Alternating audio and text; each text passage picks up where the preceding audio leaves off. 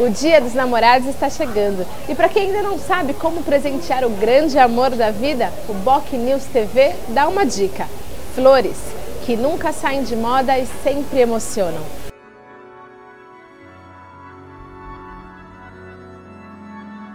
Conversamos com Felipe Vilharinho, da Gardenia Flores, há 50 anos no Supercentro Boqueirão, que dá algumas dicas. Afinal, cada cor e cada tipo de flor tem um significado diferente. A flor é o único presente que você pode oferecer para uma pessoa, apesar de ter uma durabilidade pequena, a flor em si, mas a durabilidade e a lembrança que fica do sentimento é muito grande. A pessoa que ganha um buquê de flores em qualquer data, ela nunca vai esquecer como foi aquele buquê, como foi aquela data, a comemoração. Cada cor tem uma simbologia e cada flor tem uma simbologia.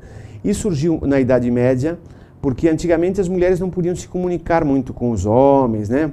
Então elas se comunicavam através, tanto os homens enviavam algumas flores, como as mulheres enviavam flores respondendo às flores que ganharam. Então por isso que criou-se essa simbologia das flores.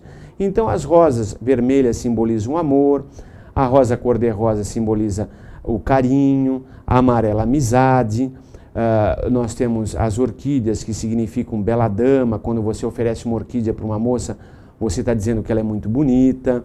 Né? Então, vai aí, tem uh, os lírios, que são as flores da paz, uh, tem os, os jacintos, várias flores que dão essa importância e o significado. Esse arranjo chama Arranjo Santos. Não sei se dá para ver muito bem, está embalado no celofane mas ele é com café, que simboliza a nossa cidade, traz uma energia e um cheirinho gostoso. E aqui em volta vocês podem observar que é a mureta dos canais, a mureta da praia.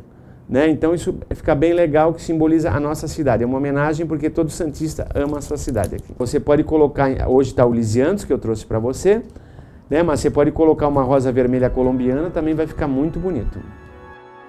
A gente deseja um feliz dia dos namorados para todos, com bastante flor porque a flor é o alimento da alma.